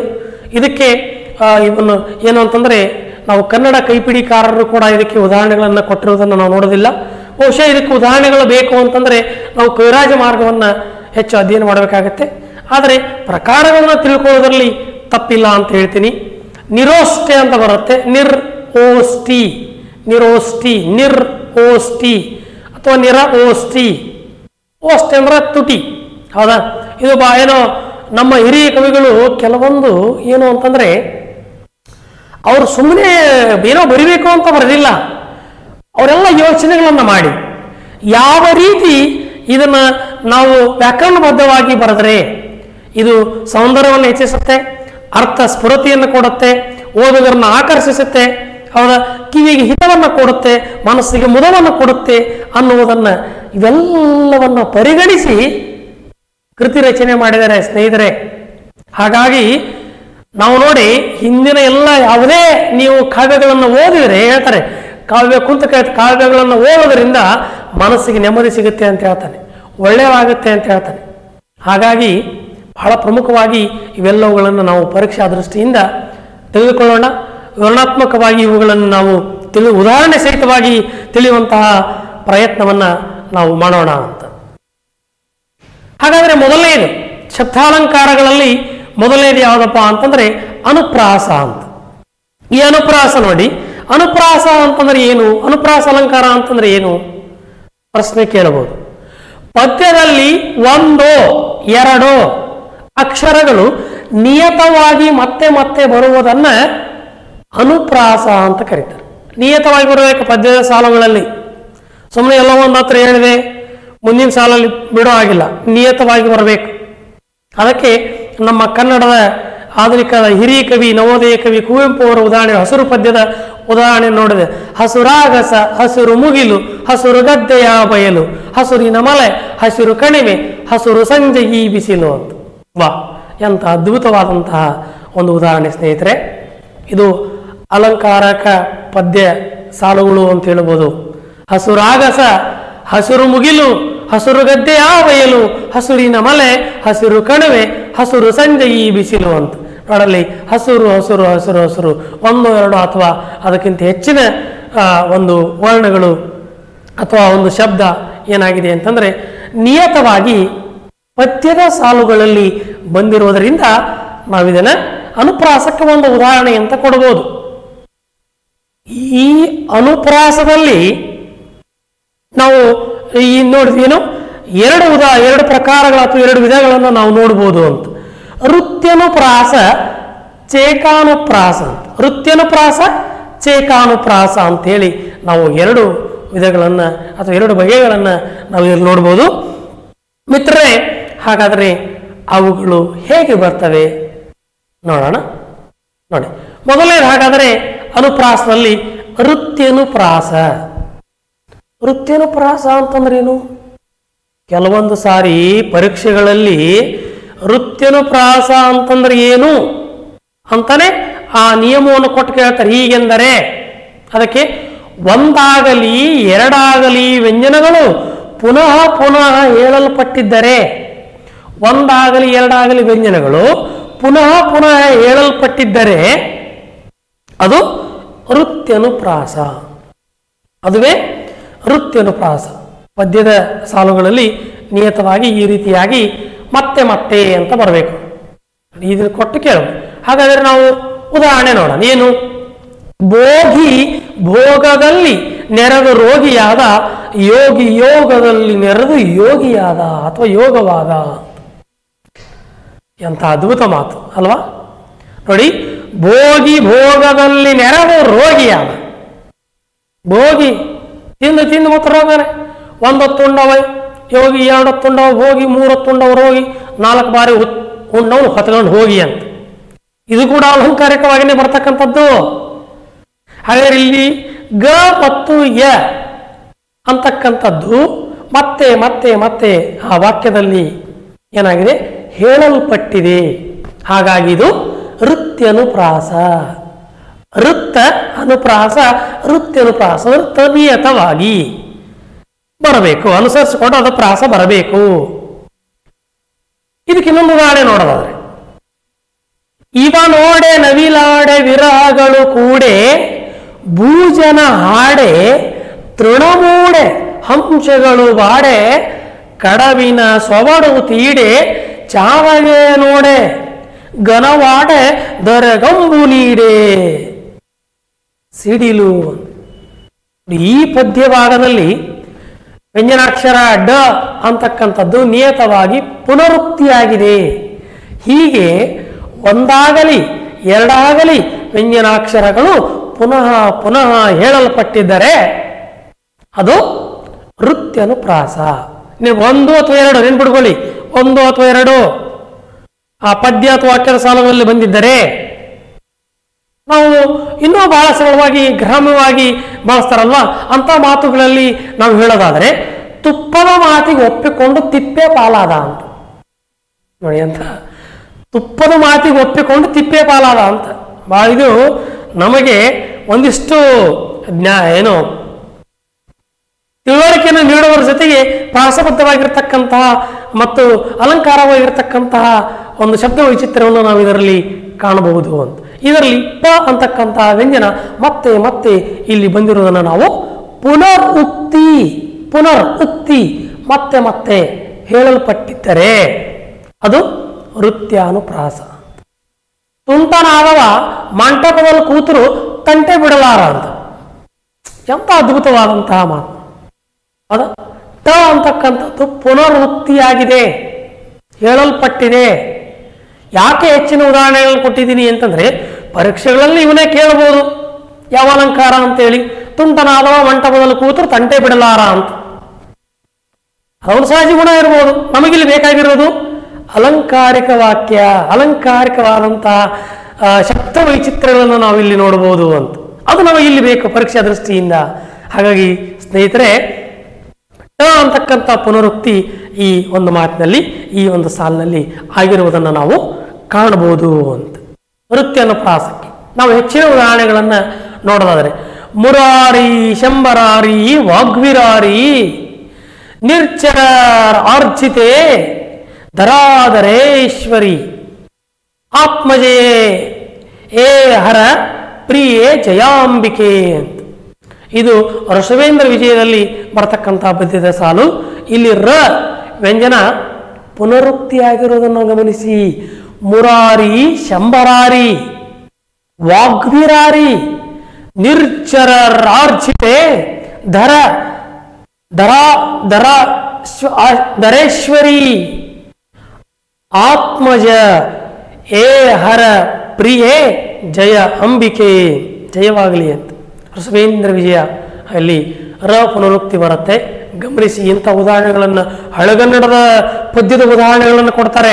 ಈ ರೀತಿಯಾಗಿ ಅಲ್ಲಿ ವ್ಯಂಜನಾಕ್ಷರ ಒಂದೋ ಎರಡು ಬಂದಿದೆಯಾ? ಅದು ನೃತ್ಯನು ಪ್ರಾಸ ಎಳಗಿಳಿಗಳ ಬಳಗಂಗಳ ಗಳ ನೀಳಿ ತಂದೆಳಸಿ ಬಳಸಿ ಸುಳಿಯುವುದು ಸುಳಿದೊಳವು ಉಗುತಂ, ನಳ ನಳಿಸಿ ಬೆಳೆದು ಕಳಿಯದ ಕಳವೆಯ ಕಣಿಶಂಗಳಂ ಕರಂ. ಖಂಡಿಸುಗುಂ ನೋಡಿ, ಎಳೆಯ ಗಿಳಿಗಳ ಸಮೂಹ, ಬಳಗಂದ್ರ ಸಮೂಹ. ನೋಡಿ, ಇದು ರಾಜಶೇಖರ ವಿಲಾಸದಲ್ಲಿ ಬರತಕ್ಕಂತಹ ಪದ್ಯದ ಸಾಲುಗಳು ಬಹಳ ಅದ್ಭುತವಾಗಿ ರಾಜಶೇಖರ ವರ್ಣನೆಯನ್ನು ಮಾಡಿದ್ದಾನೆ. ನೋಡಿ ಶಬ್ದ ವೈಚಿತ್ರ ಹೇಗಿದೆ ಇಲ್ಲಿ ಅಂತಂದ್ರೆ, ಎಳೆಯ ಗಿಳಿಗಳ ಸಮೂಹವು ಗಳಗಳನೆ ಇಳಿದು ಗಳಗಳನೆ ಇಳಿದು ಬಂದು ಭತ್ತದ ಭತ್ ಕಳವೇಂದ್ರ ಭತ್ತ ಪದದ ಅರ್ಥ ಕೂಡ ನೆನ್ಪಿಟ್ಕೊಳ್ಳಿ. ಕಳವೇಂದ್ರ ಭತ್ತ ಭತ್ತದ ಹಾಲುಗಾಳುಗಳನ್ನು ಅದ ಎಳೆಯ ಕಾಳು, ಅದ ಕಳಿಯದ ಇನ್ನು ಕಳಿತಿಲ್ಲಪ್ಪ ಎಳೆಯದ ಅಂತ ಅದು ಹಾಲು ಕಾಳು ಅಂತಾರೆ, ಹಾಲುಗಾಳು. ಬಯಸಿ ಸುತ್ತುತ್ತಾ ಸುಳಿಯುತ್ತಾ ನಳನಳಿಸಿ ಬೆಳೆದು ನಿಂತ. ಹಂಗ ಬಳ ಬಳ ಬಳ ಅಂತ ಹೊಳಿತಕ್ಕಂಥ ಬೆಳೆದು ನಿಂತ. ಆ ಭತ್ತದ ಎಳೆಯ ಕಾಳುಗಳ ಗೊನೆಗಳನ್ನು ಅವು ಸೀಳು ತಿಂತಾ ಇದ್ದವು ಅಂತ ಹಾಲು ಕಾಳನ್ನು ಗಿಳಿಗಳಿಗೆ ಅತ್ರ ಭಾಳ ಇಷ್ಟ. ಹಾಗಾಗಿ ಇಲ್ಲಿ ಳ ಮತ್ತು ಗ ನಿಯತವಾಗಿ ಎರಡು ವ್ಯಂಜನಾಕ್ಷರಗಳು ಇಲ್ಲಿ ಪದ್ಯದ ಸಾಲುಗಳಲ್ಲಿ ಬಂದಿರುವುದನ್ನ, ಬಂದಿರುವುದನ್ನು ನಾವು ಕಾಣ್ತಾ ಇದ್ದೀವಿ. ಹಾಗಾಗಿ ಇದು ವೃತ್ಯನುಪ್ರಾಸ ಇದರಲ್ಲಿ ನಿಮಗೆ ಯಾವುದೇ ರೀತಿಯಾದಂತಹ ಸಂಶಯ ಬೇಡವೇ ಬೇಡ. ನೋಡಿ, ಯಾವ ಪದ್ಯದ ಸಾಲುಗಳು, ಎಲ್ಲಿ ಯಾವ, ಯಾರು ಬರ್ತಾರೆ? ರಾಜಶೇಖರ, ಮೊದಲಿಂದ ನೋಡಿ ಋಷಿವೇಂದ್ರ ವಿಜಯ, ಯಾರು ಬರ್ತಾರೆ? ಬಹಳ ಸರಳವಾಗಿದೆ. ಹಾಗಾಗಿ, ಇದು ಹಾಗಾದ್ರೆ ಪ್ರಾಸ ಅರ್ಥ ಆಗಿದೆ ಅಂತ ಅನ್ಕೊಂಡಿದ್ದೀನಿ ಸ್ನೇಹಿತರೆ. ನಾವೀಗ ಮುಂದಿನ ಅಲಂಕಾರಕ್ಕೆ ಹೋಗೋಣ. ಎರಡನೇದು ಚೇಕಾನುಪ್ರಾಸ ಅಂತ. ಚೇಕಾನುಪ್ರಾಸ ಅಂದ್ರೆ ಇದರ ನಿಯಮ ನೋಡಿ ಏನು ಹೇಳುತ್ತೆ. ಎರಡೆರಡು ವ್ಯಂಜನಗಳಿಂದ ಕೂಡಿದ ಶಬ್ದವು, ಎರಡೆರಡು ವ್ಯಂಜನಗಳಿಂದ ಕೂಡಿದ ಶಬ್ದವು ಪುನರ್ ಆವೃತ್ತಿಯ ಪದ್ಯದಲ್ಲಿ ಬಂದರೆ, ಪುನರ್ ಆವೃತ್ತಿಯು ಪದ್ಯದಲ್ಲಿ ಬಂದರೆ, ಬಂದಿದ್ದರೆ ಅದು ಚೇಕಾನುಪ್ರಾಸ ಅಲ್ಲಿ ಹಿಂದೆ ನೋಡಿದ್ವಿ ನಾವು, ಒಂದು, ಎರಡು ಅಕ್ಷರಗಳು ನೋಡಿದ್ವಿ, ವರ್ಣಗಳು. ಚೇಕಾನುಪ್ರಾಸದಲ್ಲಿ ಏನು? ಎರಡೆರಡು ವ್ಯಂಜನಗಳಿಂದ ಕೂಡಿದಂತಹ ಶಬ್ದ ಬರಬೇಕು. ಏನ್ ಬಿಡ್ಕೊಂಬಿಡಿ ಎರಡೆರಡು ವ್ಯಂಜನ ಕೂಡಿರ್ತಕ್ಕಂಥದ್ದು. ಒಟ್ಟಿಗೆ ಇರಬೇಕು ಅದು. ಅದು ನಿಯತವಾಗಿ ಬರಬೇಕು ಪದ್ಯದಲ್ಲಿ ಹಾಗೇನಾದ್ರು ಬಂದಿತ್ತು ಅಂತಂದ್ರೆ, ಅದು ಚೇಕಾನುಪ್ರಾಸ ಕಣ್ಣು ಮುಚ್ಕೊಂಡು ಹಾಕಬಹುದು ಸುಲಭವಾಗಿ. ಉದಾಹರಣೆಗಳು ನೋಡೋಣ ಹಾಗಾದ್ರೆ. ಇಲ್ಲಿ ಉದಾಹರಣೆ ನೋಡಿ, ಏನು? ಪದ್ಮಗಂಧಿಯ, ಪದ್ಮವದನೆಯ ಪದ್ಮ ಸದ್ಮ ನಿವಾಸನಯ ಪದ ಪದ್ಮ ಕರ ಪದ್ಮಂಗಳ್ ಒಪ್ಪುವ ಪದ್ಮಲೋಚನೆಯ. ನೋಡ್ರಿ ಅಂತ, ಪದ್ಮ ಪದ್ಮ ಪದ್ಮ. ಆದಿ ಪ್ರಾಸ ಇಲ್ಲಿ ಬಂದಿರೋದನ್ನು ನಾವು ನೋಡ್ತೀವಿ. ಹೌದಾ? ಪದ್ಮ ಪದ್ಮ ಪದ್ಮ ಅಂತಕ್ಕಂಥ ಎರಡು ವ್ಯಂಜನಾಕ್ಷರಗಳ ಪದ ಇಲ್ಲಿ ನಿಯತವಾಗಿ ಬಂದಿರೋದನ್ನ ನಾವು ಕಾಣ್ತಿದ್ದೀವಿ ಹಾಗಾಗಿ ಇದು ಚೇಕಾನುಪ್ರಾಸ. ನಾವು ಬಹಳ ಸರಳವಾಗಿ ಚೇಕಾನುಪ್ರಾಸಕ್ಕೆ ನಾವು ಉದಾಹರಣೆಗಳನ್ನು ನೋಡಿದರೆ, ನೋಡೋದಾದರೆ ಬಸವಣ್ಣವರ ವಚನದಲ್ಲಿ ನಾವು ನೋಡ್ಬೋದೇನು? ಮಾಡಿ ಮಾಡಿ ಕೆಟ್ಟರು ಮನವಿಲ್ಲದೆ, ನೀಡಿ ನೀಡಿ ಕೆಟ್ಟರು ನಿಜವಿಲ್ಲದೆ ಅಂತ. ನೋಡಿ, ಮಾಡಿ ಮಾಡಿ, ನೀಡಿ ನೀಡಿ. ಪುನರಾವ, ಪುನರಾವೃತ್ತಿ. ಆಗಿದೆ. ಮತ್ತೆ ಇನ್ನೊಂದು ಮಾತು ಹೇಳ್ತಾರೆ, ಕನ್ನಡದ ಗಾದೆಯಲ್ಲಿ ಹಾಡಿ ಹಾಡಿ ರಾಗ ಬಂತು, ಉಗುಳಿ ಉಗುಳಿ ರೋಗ ಬಂತು. ಅದಕ್ಕೆ ಉಗುಳ್ಬೇಡ್ರಿ ಅಂತ ಹೇಳ್ತಾರೆ. ಹಾಡಿ ಹಾಡಿ ರಾಗ ಬಂತು. ಹಾಡ್ತಾ ಹಾಡ್ತಾ ರಾಗ ಬರುತ್ತೆ. ಹಾಗೆ ಉಗುಳ್ತಾ ಹೋದ್ರೆ ರೋಗನ ಗ್ಯಾರಂಟಿ, ಲಾಲವಾಸ ಹೋಗ್ಬಿಡುತ್ತೆ. ಇದು ಒಂದು ಪಕ್ಕ ಕೇಳೋಣ. ಆದರೆ ನಾವು ಅಲಂಕಾರಿಕ ಶಬ್ದಗಳನ್ನು ನೋಡೋದಾದ್ರೆ ಸ್ನೇಹಿತರೆ, ಇಲ್ಲಿ ಹಾಡಿ ಹಾಡಿ, ಉಗುಳಿ ಉಗುಳಿ, ಇದು ಶಬ್ದ ವೈಚಿತ್ರ್ಯ. ಎರಡು ವ್ಯಂಜನಾಕ್ಷರ ಪದ ಮತ್ತೆ ಮತ್ತೆ ಬಳಕೆಯಾಗಿದೆ. ಇದಕ್ಕೆ ನಾವೇನು ಚೇಕಾನ ಪ್ರಾಸಕ್ಕೆ ಈ ಒಂದಿಷ್ಟು ತಮಗೆ ಹೆಚ್ಚಿನ ಉದಾಹರಣೆಗಳು ಅಂತ. ಹಾಗಾದರೆ ಚೇಕಾನ ಪ್ರಾಸ ಅರ್ಥ ಆಗಿದೆ ಅಂತ ಅನ್ಕೊಂಡಿದ್ದೀನಿ. ಇನ್ನೊಂದು ಸಾರಿ ಸೂತ್ರ ಹೇಳ್ತೀನಿ. ಚೇಕಾನುಪ್ರಾಸ ಪ್ರಾಸ ಅಂತಂದ್ರೆ ಎರಡು ವ್ಯಂಜನಾಕ್ಷರಗಳು ಪದ, ವ್ಯಂಜನಾಕ್ಷರ ಪದ ಪದ್ಯದಲ್ಲಿ ಪುನರಾವೃತ್ತಿಯಾಗಿದ್ದರೆ ಅದು ಚೇಕಾನುಪ್ರಾಸ ಸ್ನೇಹಿತರೆ, ಹಾಗಾದರೆ ನಾವು ಮುಂದಿನ ಅಲಂಕಾರಕ್ಕೆ ಹೋಗೋಣ. ಪರೀಕ್ಷಾ ದೃಷ್ಟಿಯಿಂದ ಬಹಳ ಪ್ರಮುಖವಾಗಿರ್ತಕ್ಕಂಥದ್ದು ಯಮಕಾಲಂಕಾರ. ಯಮಕಾಲಂಕಾರ. ಇದು ಎರಡನೇ ಯಮಕಾಲಂಕಾರ. ನಾವೀಗ ಅನುಪ್ರಾಸ ನೋಡಿದ್ರೆ ಈಗ ಯಮಕಾಲಂಕಾರಕ್ಕೆ ಹೋಗೋಣ. ಯಮಕಾಲಂಕಾರದಲ್ಲಿ ಯಾವುದೇ ಪ್ರಕಾರಗಳಿಲ್ಲ, ವಿಧಗಳಿಲ್ಲ. ಇದರಲ್ಲಿ ನೋಡಿ, ಸೂತ್ರ ಹೇಳ್ತಾ ಇದೆ, ಮೂರು ಅಥವಾ ಅದಕ್ಕಿಂತ ಹೆಚ್ಚಿನ ಅಕ್ಷರಗಳುಳ್ಳ ಪದವೋ ಅಥವಾ ಪದಭಾಗವೋ ಒಂದು ಪದ್ಯದ ಆದಿ ಮಧ್ಯ, ಅಂತ್ಯ. ನೋಡಿ, ಮೂರು ಅಥವಾ ಅದಕ್ಕಿಂತ ಹೆಚ್ಚು, ಮೂರು ಅಥವಾ ಅದಕ್ಕಿಂತ ಹೆಚ್ಚು. ಪದ್ಯದ ಆದಿ, ಪದ್ಯದ ಮಧ್ಯ, ಪದ್ಯದ ಅಂತ್ಯದಲ್ಲಿ ಎಲ್ಲಾದರೂ ಆ ಸ್ಥಾನಗಳಲ್ಲಿ ಅದು ನಿಯತವಾಗಿ ಬಂದಿದ್ದರೆ ಅದನ್ನು ನಾವು ಯಮಕಾಲಂಕಾರ ಅಂತ ಕರಿತೀವಿ ಅಂತ. ನೆನ್ಪಿಡ್ಕೊಡ್ರಿ ಮೂರು ಬರ್ಬೇಕಿಲ್ಲಿ, ಮೂರು ಅಥವಾ ಅದಕ್ಕಿಂತ ಹೆಚ್ಚು ಬರಬೇಕು. ಅಕ್ಷರಗಳುಳ್ಳಂತ ಪದ ಬರಬೇಕಿಲ್ಲಿ. ನಾವು ಹಿಂದಿನ ಎರಡು ನೋಡಿದೀವಿ, ಅಕ್ಷರಗಳು, ಒಂದು ಪದ. ಇವಾಗ ಮೂರು. ಮೊದಲನೇದು, ವೃತ್ತಾನುಪ್ರಾಸದಲ್ಲಿ ಒಂದು ಅಥವಾ ಎರಡು, ಬರೀ ವ್ಯಂಜನಾಕ್ಷರಗಳು ಬರಬೇಕು. ಯಾಕೆ ಹೇಳ್ತೀನಿ ಅಂತಂದ್ರೆ, ಪುನರಾವರ್ತನೆ ಆದಂಗೆ ಅಭ್ಯಾಸ ಹೆಚ್ಚಾಗತ್ತೆ ಅಂತ. ಹಾಗಾದ್ರೆ ಇದಕ್ಕೆ ಉದಾಹರಣೆಗಳನ್ನು ನೋಡೋಣ. ಇದಕ್ಕೆ ಸಾಕಷ್ಟು ಉದಾಹರಣೆಗಳು ನಮಗೆ ಕನ್ನಡದಲ್ಲಿ ಸಿಗ್ತವೆ. ವಚನಕಾರರಂತೂ ಸಾಕಷ್ಟು ಈ ಅಲಂಕಾರಗಳನ್ನು ಪ್ರಯೋಗ ಮಾಡಿದ್ದಾರೆ ಅಂತ ಹೇಳ್ಬೋದು. ಸಾಕಷ್ಟು ಅದಕ್ಕೆ ಇಲ್ಲಿ ಅಕ್ಕಮಾದೇ ವಚನವನ್ನ ನಾನು ನಿಮಗೆ ಉದಾಹರಣೆಯಾಗಿ ಕೊಡ್ತಾ ಇದ್ದೀನಿ. ನಚ್ಚಿಗೆ ಮನ ನಿಮ್ಮಲ್ಲಿ, ಮೆಚ್ಚುಗೆ ಮನ ನಿಮ್ಮಲ್ಲಿ, ಸಲ್ಲುಗೆ ಮನ ನಿಮ್ಮಲ್ಲಿ, ಸೋಲುಗೆ ಮನ ನಿಮ್ಮಲ್ಲಿ, ಬಳಲುಗೆ ಮನ ನಿಮ್ಮಲ್ಲಿ, ಕರಗುಗೆ ಮನ ನಿಮ್ಮಲ್ಲಿ? ಕೊರಗುಗೆ ಮನ ನಿಮ್ಮಲ್ಲಿ ಎನ್ನ ಪಂಚೇಂದ್ರಿಯಗಳು ಕಬುನ ಉಂಡ ನೀರಿನಂತೆ ನಿಮ್ಮಲ್ಲಿ ಬೆರಸುಗೆ ಚೆನ್ನಿಮಲ್ಲ, ಚನ್ನಮಲ್ಲಿಕಾರ್ಜುನಯ್ಯ ಅಂತ. ಅಕ್ಕಮಹಾದೇವಿಯ ವಚನ. ನೋಡಿ ಈ ವಚನದಲ್ಲಿ ಅಕ್ಕಮಹಾದೇವಿ ಮನಸ್ಸಿನ ವಿಚಾರವನ್ನು ಬಹಳ ಚೆನ್ನಾಗಿ ಹಂಚಿಕೊಂಡಿದ್ದಾರೆ. ಅದಕ್ಕೆ ಏನು ಜೀವನಾನುಭವಗಳನ್ನು ಹೆಚ್ಚು ವಚನಗಳಲ್ಲಿ ಹೇಳಿಕೊಂಡಂತಹ ವಚನಕಾರ್ತಿ ಅಂತಂದರೆ ಅಕ್ಕ ಮಹಾದೇವಿ ಅಂತ. ನಮ್ಮ ವಚನಕ್ಕೇ ಅಕ್ಕ ಅಂತ ಕರಿತೀವಿ ಇವಳನ್ನು. ಅಕ್ಕ ಮಹಾದೇವಿ ವಚನಗಳ ಅಂಕಿತ ಚನ್ನಮಲ್ಲಿಕಾರ್ಜುನ, ಹನ್ನೆರಡನೇ ಶತಮಾನ ಕಾಲ, ಉಡುತಡಿ, ಶಿವಮೊಗ್ಗ ಜಿಲ್ಲೆ ಉಡುತಡಿ ಅಂತಕ್ಕಂಥ ಸ್ಥಳದ ಸ್ಥಳ ಸ್ಥಳದಲ್ಲಿ ಜನಿಸಿದಂಥವಳು. ಇದು ಹೆಚ್ಚಿನ ಮಾಹಿತಿ. ಆದರೆ ನಾವು ಶಬ್ದಾಲಂಕಾರದಲ್ಲಿ ಯಮಕಾಲಂಕಾರಕ್ಕೆ ನೋಡೋದಾದರೆ ನಿಮ್ಮಲ್ಲಿ ನಿಮ್ಮಲ್ಲಿ ನಿಮ್ಮಲ್ಲಿ ನಿಮ್ಮಲ್ಲಿ ನಿಮ್ಮಲ್ಲಿ ಅಂತಕ್ಕಂಥ ಮೂರು ಅಕ್ಷರಗಳ ಒಂದು ಪದ ನಿಯತವಾಗಿ ಬಂದಿದೆ. ಯಮಕಾಲಂಕಾರ. ಮೂರು. ಕ್ರಮವಾಗಿ ಏರಿಕೆ ಕ್ರಮದಲ್ಲಿದೆ ನೋಡ್ರಿ. ಒಂದು, ಎರಡು, ಮೂರು. ಏರಿಕೆ ಕ್ರಮದಲ್ಲಿದೆ. ಅಲಂಕಾರ, ಶಬ್ದಾಲಂಕಾರ. ಗುರುತಿಸ್ಕೊಂಡ್ರಿ. ಇಲ್ಲಿ ನಿಮ್ಮಲ್ಲಿ ಅಂತಕ್ಕಂಥದ್ದು ಬಂದಿರೋದ್ರಿಂದ ನಾವು ಇದನ್ನ ಯಮಕ ಅಲಂಕಾರ ಅಂತ ನೋಡ್ತೀವಿ ಹೇಳ್ತೀವಿ. ಹಾಗಾದ್ರೆ ಸ್ನೇಹಿತರೆ ಇದಕ್ಕೆ ಹೆಚ್ಚಿನ ಉದಾಹರಣೆ ನೋಡೋದಾದ್ರೆ ಬಸವಣ್ಣವರ ವಚನ. ನಾನು ನಿಮಗೆ ಆಗಲೇ ಹೇಳಿದೆ ವಚನಕಾರರು ನೀವು ಸಾಕಷ್ಟು ಸುಮಾರು ನಲವತ್ತು ಐದಕ್ಕಿಂತ ಹೆಚ್ಚು ಅಂತ ಹೇಳಿದ್ರೆ. ಆದರೆ ದಾಖಲೆ ನಮಗೆ ಸಿಕ್ಕಿರೋದ್ರಲ್ಲಿ ಏ, ಸುಮಾರು ನಾಲ್ಕುನೂರಕ್ಕಿಂತ ಹೆಚ್ಚು ವಚನಕಾರರು ಅಂತ ಹೇಳ್ತಾರೆ. ಆದರೆ ಉಪಲಬ್ಧ ಇರತಕ್ಕಂಥದ್ದು ಕೆಲವೇ ಕೆಲವು. ಅದರಲ್ಲಿ ನೀವು ವಚನಗಳು ಯಾವ ವಚನಗಳನ್ನು ತೆಗೆದು ನೋಡ್ತಾ ಹೋದರೆ ನಿಮಗೆ ಅಲಂಕಾರಿಕ ಮಾತುಗಳು ಬಂದೇ ಬರ್ತವೆ. ಬಸವಣ್ಣವರ ವಚನ ನೋಡಿ. ಚಲಬೇಕು ಶರಣಂಗೆ ಪರಧನವನೊಲ್ಲೆನೆಂಬ. ಚಲಬೇಕು ಶರಣಂಗೆ ಪರಸತಿಯನೊಲ್ಲೆನೆಂಬ. ಚಲಬೇಕು ಶರಣಂಗೆ ಪರದೈವವನ್ನೊಲ್ಲೆನೆಂಬ ಚಲಬೇಕು ಶರಣಂಗೆ ಲಿಂಗ ಜಂಗಮ ಒಂದೇ ಎಂಬ ಚಲಬೇಕು ಶರಣಂಗೆ ಪ್ರಸಾದದಿಟವೆಂಬ ಚಲವಿಲ್ಲ, ವಿಲ್ಲದರ ಮೆಚ್ಚ ನಮ್ಮ ಕೂಡಲ ಸಂಗಮ ದೇವ. ಚಲವಿಲ್ಲದವರ ಮೆಚ್ಚೋದಿಲ್ಲ ನಮ್ಮ ಕೂಡಲ ಸಂಗಮ ದೇವ. ಅಂದ್ರೆ ಚಲಬೇಕು ಚಲಬೇಕು ಚಲಬೇಕು ಚಲಬೇಕು ನೋಡಿ, ನಾಲ್ಕು ವ್ಯಂಜನಾಕ್ಷರಗಳು ನಿಯತವಾಗಿ ಪದ್ಯದ ಸಾಲುಗಳಲ್ಲಿ ಈ ವಚನದಲ್ಲಿ ಬಂದಿರುವುದನ್ನು ನಾವು ಕಾಣ್ತೀವಿ. ಹಾಗಾಗಿದು ಯಮಕಾಲಂಕಾರ. ಯಮಕ ಅಲಂಕಾರ ಮೂರುಕ್ಕಿಂತ ಹೆಚ್ಚು ವರ್ಣಗಳ ಒಂದು ಪದ, ಅದು ನಿಯತವಾಗಿ ಬಂದಿರಬೇಕು. ಇದು ಬಸವಣ್ಣವರ ವಚನ ಕೂಡಲ ಸಂಗಮದೇವ ಬಸವಣ್ಣವರ ವಚನ ಅಂಕಿತ ನಾವು. ಸ್ನೇಹಿತರೆ, ಇನ್ನೊಂದು ಸಾಹಸ ಭೀಮ ವಿಜಯದ ರನ್ನನ ಸಾಹಸ ಭೀಮ ವಿಜಯದ ಒಂದು ಪದ್ಯವನ್ನ ತಮಗಾಗಿ ನಾನು ಕೊಡ್ತಾ ಇದ್ದೇನೆ. ಪರೀಕ್ಷೆಗಳಲ್ಲೂ ಕೂಡ ಕೇಳಬಹುದು. ಆದ್ದರಿಂದ ನೋಡಿ, ಕಿರಿ ಕಿರಿದೆ ಮೆಟ್ಟಿ ಮುಂದಂ.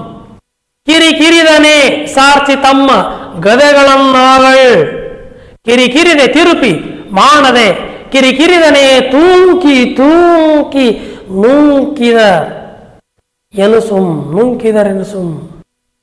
ರನ್ನನ ಗದಾಯುದ್ಧದ ಸಂದರ್ಭದಲ್ಲಿ ಬರ್ತಕ್ಕಂತಹ ಒಂದು ಭಾಗ, ಕಿರಿದರೆ. ಅದ ಕಿರಿ ಕಿರಿದನೆ ಕಿರಿ ಕಿರಿದನೆ ಕಿರಿ ಕಿರಿದನೆ ಅಂತಕ್ಕಂತಹ ನಾಲ್ಕು, ಐದು ವ್ಯಂಜನಗಳಿಂದ ಕೂಡಿರ್ತಕ್ಕಂತಹ ಒಂದು ಪದ ಇಲ್ಲಿ ಬಂದಿದೆ. ಹಾಗಾಗಿ ನಾವು ಇದನ್ನ ಪರೀಕ್ಷಾ ದೃಷ್ಟಿಯಿಂದನೂ ಕೂಡ ನೋಡೋಣ. ಮತ್ತು ಅರ್ಥ ಒಂದು ವೈಚಿತ್ರ್ಯ ಇದೆ. ಇದು ಶಬ್ದ ವೈಚಿತ್ರ್ಯವನ್ನು ನಾವು ಇದರಲ್ಲಿ ಕಾಣ್ತಾ ಇದ್ದೀವಿ. ಹಾಗಾಗಿ ಇದು ಯಮಕ ಅಲಂಕಾರಕ್ಕೆ ಸರಿಯಾದಂತಹ ಉದಾಹರಣೆಯಾಗಿದೆ. ಸ್ನೇಹಿತರೆ, ಇದಿಷ್ಟು ಹಾಗಾದರೆ ಯಮಕ ಅಲಂಕಾರ ಶಬ್ದಾಲಂಕಾರಗಳಲ್ಲಿ ಎರಡನೇ ಪ್ರಕಾರ ಯಮಕ ಅಲಂಕಾರ ಮತ್ತೊಂದ್ಸರಿ ಹೇಳ್ತಿದ್ದೀನಿ ನೆನ್ಪಿಟ್ಕೊಳ್ಳಿ. ಮೂರಕ್ಕಿಂತ ಹೆಚ್ಚು ಶಬ್ದಗಳಿಂದ ಅಕ್ಷರಗಳಿಂದ ಕೂಡುತ್ತ ಶಬ್ದ. ಪ್ರಯೋಗ ಆಗಿದ್ದರೆ ಅದು ಯಮಕಾಲಂಕಾರ. ಸ್ನೇಹಿತರೆ ಮುಂದಿನ ನೋಡೋಣ ನಾವಾಗಾದರೆ ಇಲ್ಲಿ ಚಿತ್ರಕವಿತ್ವ ಅಂತ. ಚಿತ್ರಕವಿತ್ವ.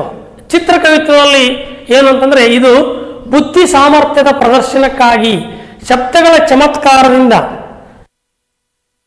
ಕೂಡಿರ್ತಕ್ಕಂತಹ ರಚನೆಗಳಿದಾವಲ್ಲ, ಅವುಗಳನ್ನು ಚಿತ್ರಕವಿತ್ವ ಅಂತ ಕರಿತೀವಿ. ಶಬ್ದಗಳ ಚಮತ್ಕಾರ. ಅದು ಹೆಂಗೆ?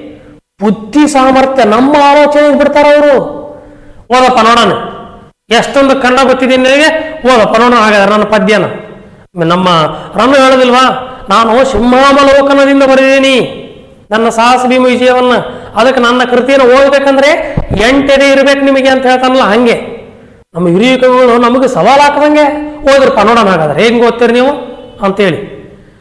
ಇದನ್ನ ನಾವೇನಂತ ಕರಿತೀವಿ? ಚಿತ್ರ ಕವಿತ್ವ ಒಂಥರ ಚಿತ್ರ ಕಲ್ಪನೆ, ಅದ್ಭುತ ಚಿತ್ರಗಳನ್ನು ಬಿಡಿಸಿದ್ರೆ ನಮಗೆ ಆಕರ್ಷಕವಾಗಿ ಹೆಂಗೆ ನೋಡ್ತೀರೋ? ಆ, ವಾ, ಏನು ಅದ್ಭುತವಾದಂತಪ್ಪ ನೋಡಿ ಇದು, ಹ್ಮ್, ತೈಲವರ್ಣ ಬಿಡಿಸಿ ಏನು ಜಲ, ಏನು ನೀ, ಇದರಲ್ಲಿ ಜಲವರ್ಣ ಅಂತ ಹೇಳ್ತೀವಿ. ಒಂದು ಅದ್ಭುತವಾದಂಥ ಒಂದು ಪೇಂಟಿಂಗ್ ಬಿಡಪ್ಪ ಇದು. ಎಂಥ ಅದ್ಭುತವಾದಂಥ ಕಲೆ ಇದೆ ಇವರಲ್ಲಿ. ರವಿವರ್ಮ ಅಬಾಬಾಬಾ, ಏನು ಕಲೆಪ್ಪ ಅದು ಅಂತ ಹೇಳ್ತೀವಲ್ಲ ಯಾರು, ವೆಂಕಟಾಚಾರ್ಯ, ಏನು ಅದ್ಭುತವಾದಂತಹ ಕಲಾವಿದರು ಅಂತ ಹೇಳ್ತೀವಲ್ವಾ? ಹಾಗೆ ಅದು ಚಿತ್ರಗಳಲ್ಲಿ ನೋಡಿದಾಗ ಆ ಚಿತ್ರ ಕಲ್ಪನೆ ಆ ಪರಿಕಲ್ಪನೆ, ಆ ವೈಚಿತ್ರ್ಯವನ್ನ ಶಬ್ದಗಳ ಮೂಲಕ ತೋರಿಸಿದಾರಲ್ಲ, ಅದಕ್ಕೆ ಚಿತ್ರ ಕವಿತ್ವ ಚಿತ್ರ ಕವಿತ್ವ ಚಿತ್ರ ಕವಿತ್ವ. ಅಲಂಕಾರ ಅಲಂಕಾರ. ಇದರಲ್ಲಿ ಆರು ಪ್ರಕಾರಗಳು ಅಂತ ನಾವು ನೋಡಿದ್ವಲ್ಲ ಯಾವುದು? ಏಕಾಕ್ಷರ, ದ್ವೇಯಕ್ಷರ, ತ್ರೇಯಕ್ಷರ, ಗತಪ್ರತ್ಯಾಗತ, ಅತಾಲವ್ಯ ಮತ್ತು ನಿರೋಷ್ಟ ಅಥವಾ ನಿರೋಷ್ಟ್ಯ ಅಂತಕ್ಕಂಥ ಭೇದಗಳನ್ನು ನಾವು ಈ ಚಿತ್ರಕವಿತ್ವದಲ್ಲಿ ಕಾಣಬಹುದು ಸ್ನೇಹಿತರೆ. ಹಾಗಾದರೆ ಈ ಚಿತ್ರಕವಿತ್ವಕ್ಕೆ ಒಂದೊಂದಾಗಿ ನೋಡ್ತಾ ಹೋಗೋಣ ನಾವು. ನೋಡಿ, ಬುದ್ಧಿ ಸಾಮರ್ಥ್ಯದ ಪ್ರದರ್ಶನಕ್ಕಾಗಿ ಈ ಶಬ್ದಗಳ ಚಮತ್ಕಾರವನ್ನು ಒಳಗೊಂಡಂತಹ ರಚನೆಗಳಿಲ್ಲದವಲ್ಲ, ಅವುಗಳೇ ಚಿತ್ರಕವಿತ್ವ ಅಲಂಕಾರಗಳು. ಇದರಲ್ಲಿ ಮೊದಲನೇದು ಯಾವ್ದಪ್ಪ? ಏ, ನೋಡಿ, ಏಕ ಅಕ್ಷರಿ, ಏಕಾಕ್ಷರಿ. ಸಂದೀಪ. ಅಂದ್ರೆ ಒಂದು ಅಕ್ಷರ ಒಂದು ಅಕ್ಷರ ಅದರ ಪ್ರಯೋಗ ಬಹಳ ಚೆನ್ನಾಗಿರ್ತಕ್ಕಂಥದ್ದು. ಬಹಳ ಚೆನ್ನಾಗಿದೆ ಚಿತ್ರಕಲೆ ಇಲ್ಲಿಗೆ ಒಂದು ಪದ್ಯ ಇದೆ. ಬಹಳ ಅಪರೂಪ ಇದನ್ನ ತುಂಬಾ ಜನ ಹೆಂಗ್ ಓದೋದು ಸಾರ್ ಅಂತ ಕೇಳ್ತಿರ್ತಾರೆ ನಮಗೆ. ನೋಡಲಿ ನಿನ್ನನ್ನಂ ನಿನ್ನನ್ನಂ, ನಿನ್ನನ್ನೇಂ ನಿನ್ನನ್ನಂ, ನಿನ್ನನ್ನೇಂ, ನಿನ್ನಾಮ್ನು ನಿನ್ನಾಮ್ನು. ನನನ್ನ ನಿನ್ನ, ನನ್ನಂ, ನಿನ್ನಂ, ನಿನ್ನನ್ನಾಂ, ನಾಂ, ನೀನೇನೆ. ನಿನ್ನನ್ನಂ, ನನ್ನಿ ನಿನ್ನ ನಾ ನಿನ್ನನೇಂ. ಬೇಂದ್ರವ್ರು ಹೇಳ್ತಾರಲ್ಲ ಒಂದ್ಸರಿ ಪದ್ಯವನ್ನು ಓದಿದ್ರೆ, ಕವನವನ್ನು ಓದಿದ್ರೆ, ಕಾವ್ಯವನ್ನು ಓದಿದ್ರೆ ಅರ್ಥ ಆಗಬಾರ್ದಂತೆ. ಅಂದ್ರೆ ಅದರಲ್ಲಿ ವೈಚಿತ್ರ್ಯ ಇರಬೇಕು ಅಂತ ಹೇಳ್ತಾರೆ. ಸುಮ್ಮನೆ ಹಂಗೆ ನಾನು ಅವಳನ್ನು ನೋಡಿದೆ, ಅವಳನ್ನು ನೋಡಿದ್ರೆ ಇಬ್ಬರ ಮಧ್ಯೆ ಅಂಕುರವಾಯಿತು ಪ್ರೀತಿ. ಸಾಮಾನ್ಯವಾಗಿ ಬಿಡುತ್ತೆ ಸಾಮಾನ್ಯವಾಗಿ ಬಿಡುತ್ತೆ ಪದ್ಯ. ವೈಚಿತ್ರ್ಯ, ಸ್ವಭಾವವು ಬರಬೇಕು ಪದ್ಯದಲ್ಲಿ. ನೋಡಿ, ನ ಅನ್ನಕ್ಕಾಗಂತಹ ಒಂದು ಅಕ್ಷರ ಪ್ರಯೋಗವನ್ನು ಇದರಲ್ಲಿ ಹೆಂಗೆ ಮಾಡಿದ್ದಾರೆ ಇದ್ರಲ್ಲಿ ನೋಡಿ, ಯಾವುದೇ ಬೇರೆ ಅಕ್ಷರನೇ ಇಲ್ಲ. ಬರೀ ನ ವ್ಯಂಜನಾಕ್ಷರ ಅನ್ನಾಶಕಾಕ್ಷರ ಒಂದೇ ಇದೆ. ನಿನ್ನ ನಮ್, ನಿನ್ನ ನೇಮ್, ನಿನ್ನ ನಾಮ್. ಅವನು ನನ್ನ, ನನನ್ನ, ನಿನ್ನ, ನನ್ನಂ ನಿನ್ನ ನಂ ನಿನ್ನ ನಾಮ್ ನಾಮ್ ನೀನೆನೆ ನಿನ್ನ ನಂ ನನ್ನಿ ನಿನ್ನ ನಾಮ್ ನಿನ್ನ ನೇಮ್ ಹೀಗೆ ಒಂದು ಅಕ್ಷರದ ಪ್ರಯೋಗ ಏಕಾಕ್ಷರಿ ಅಂತ ಬರುತ್ತೆ ಚಿತ್ರಕವಿತ್ವಕ್ಕೆ. ಇದು ಮೊದಲನೇದಕ್ಕೆ ಉದಾಹರಣೆಯಾಗಿದೆ ಸ್ನೇಹಿತರೆ. ಹಾಗೆಯೇ ಇದರಲ್ಲಿ ಚಿತ್ರಕವಿತ್ವದಲ್ಲಿ ನಾವು ಮತ್ತೆ ದ್ವೇ ಅಕ್ಷರ ಅನ್ನೋಣ ಅಂದರೆ ಎರಡು ಅಕ್ಷರದಿಂದ ರಚನೆ ಆಗಿರತಕ್ಕಂಥದ್ದನ್ನು ನಾವು ನೋಡ್ಬೋದು. ದ್ವೇ, ದ್ವಿ ಅಕ್ಷರ, ದ್ವೇ ಅಕ್ಷರ ಅಂತ ಎರಡು ಅಕ್ಷರ ಬರುತ್ತೆ. ಉದಾಹರಣೆಗೆ ನೋಡೋದಾದ್ರೆ, ನೋಡಿ, ಮಾನಿನಿ ಈ ಮುನ್ನಂ ಆ, ನೀನೇ ನೀನಾ ನಿನ್ನನು ಮಾನಮೇಂ ಮಾನಮಾನಾನೆ ಮುನ್ನನೈ ಮುನ್ನನೈ ಮಾನಮಾನಾನೆ ಮುನ್ನಿಮ. ಮುನ್ನಿನ.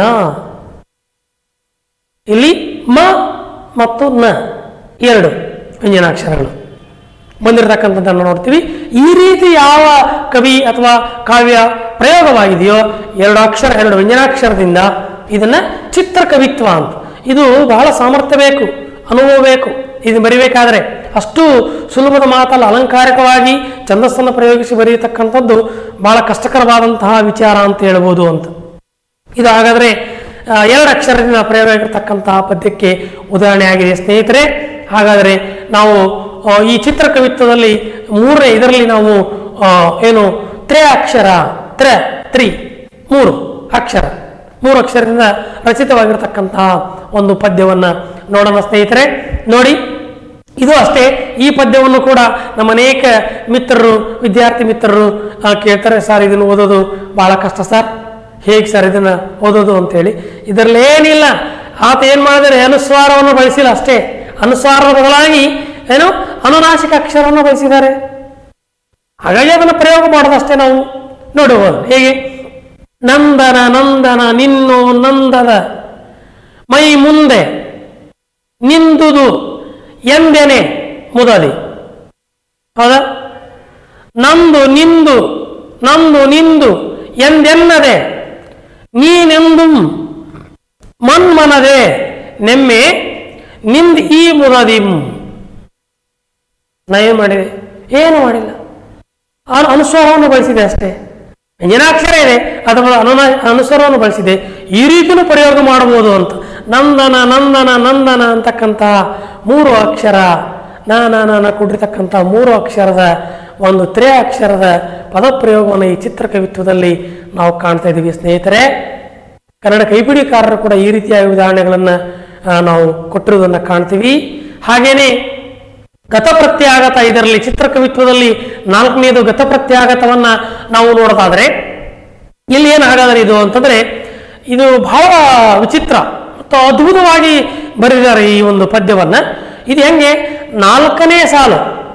ಸಾಲನ್ನ ಹಿಂದಿನಿಂದ ಓದಿದರೆ, ಅಂದ್ರೆ ಕೊನೆಯ ಅಕ್ಷರದಿಂದ ಓದಿದರೆ ಒಂದನೇ ಸಾಲು ಪ್ರಾರಂಭದಿಂದ ಓದಿದಂಗೆ ಇರುತ್ತೆ. ಮೂರನೇ ಸಾಲನ್ನು ಹಿಂದಿನಿಂದ ಓದಿದರೆ, ಮೂರನೇ ಸಾಲನ್ನು ಕೊನೆ ಅಕ್ಷರದಿಂದ ಓದಿದರೆ, ಎರಡನೇ ಸಾಲ ಪ್ರಾರಂಭದಿಂದ ಪುನರಾವರ್ತನೆ ಆದಂತೆ ಕಾಣುವಂಥದ್ದೇ ಗತ ಪ್ರತ್ಯಾಗತ ಗತ ಪ್ರತಿ ಆಗತ. ಅದು ಹಿಂದ್ ಗತ ಅಂದ್ರೆ ಹಿಂದಿಂದ ಅಂತ. ಗತಕಾಲ ಅಂತ ಹೇಳ್ತೀವಲ್ಲ ಹಿಂದೆ. ಹಿಂದೆ ಮುಂದೆ ಕೂಡಿಸಿ ಓದೋದಪ್ಪ ಹಿಂಗೆ ಓದಿದ್ರು ನಾಳೆ ಬರಬೇಕು, ಹಿಂಗೆ ಓದಿದ್ರು ಅದೇ ಬರಬೇಕು. ಯಾವುದು? ಮೊದಲನೇ ಸಾಲ, ನಾಲ್ಕನೇ ಸಾಲ. ಹೌದಾ? ಎರಡನೇ ಸಾಲ, ಮೂರನೇ ಸಾಲ. ನೋಡಿ ಅಂತ ಒಂದು ಪದ್ಯ ಅಂತ ಒಂದು ಪದ್ಯವನ್ನು ನಾವು ಉದಾಹರಣೆಯಲ್ಲಿ ತಮಗೋಸ್ಕರ ನಾನು ಕೊಡ್ತಾ ಇದ್ದೇನೆ. ನೋಡಿ ಕುಂದಿನಿಂದೆಚ್ಚನದು ಎಚ್ಚನದುಂ. ದು ಬಂಟಿ ಇನ್ನಂ ಅಲ್ಲದೆ ನಿಂದು. ದೆಂದೆಂದು ನಿಂದೆಲ್ಲಂ ಅದಟಿಂ ಬಂದು ನಚ್ಚದೆ ನಿಂಬಿಕುಂ ಅಂತಕ್ಕಂಥ ಪದ್ಯ.